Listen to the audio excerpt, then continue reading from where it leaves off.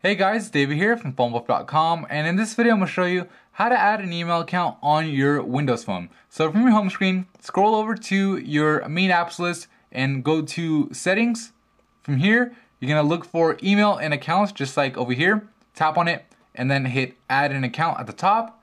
And from here you can choose what kind of account you want to add. So in this case, I'll just add a Yahoo email account and I'll enter in my email address up here and my password down here off screen and uh, we'll get back to the steps as soon as I'm done. Alright, so I've finished up typing in my email address and password.